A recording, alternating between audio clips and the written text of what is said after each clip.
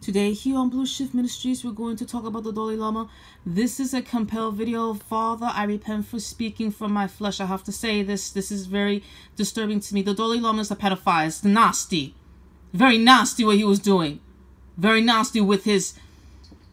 I think all of you saw the video. How dare he do that to a child? He degrade that child. And what the hell is wrong with the parents? Why would the parents allow their child to go up there? The Dalai Lama is a liar.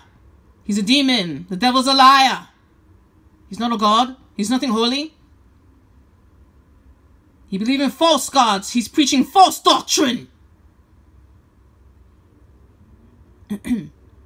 Father, no. All of us, of those in the body of Christ, we have to be very careful in who we associate ourselves with, even with those that call themselves the priests in the church. Many of them are also pedophiles. We have to be very careful with our children. The devil's after our children.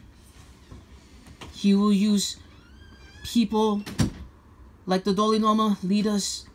He will use people like the priests in the church cannot trust these people. You only trust Jesus. You only trust the Son of David. You only trust Father Jehovah Jireh. We need to teach our children this. Whenever your child says, oh, I want to go up there and hug someone, you look at your child and say, you hug Jesus. That's the problem with the people. That's the problem with the children. You're giving credit where it has not been earned and it should not be.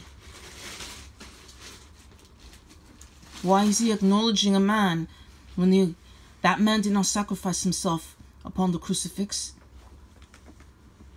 Reach out to Jesus for a hug. Jesus protects our children. He makes them safe. He keeps them clean. He keeps them whole. He keeps them holy. What the Dalai Lama tried to do,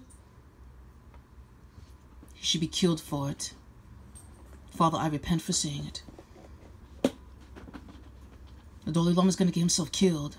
He's going to do that to the wrong child, to the wrong parent, and that parent is going to raise a firearm to him and to a priest, to anyone who believes in that nasty paraphernalia. That's an abomination. And when it happens, I don't want to hear it. Some people play too many games. That is a very dangerous, evil game. That child is innocent. Let us pray. In the name of the blood of Jesus Christ, Son of David, I bind every paraphernalia demon. I bind all the demons of the Dalai Lama. I bind them all. He's preaching false doctrine. He's a liar. The devil's a liar. How dare he say that to that child? And how stupid are those parents for allowing it? I don't care if they knew or not.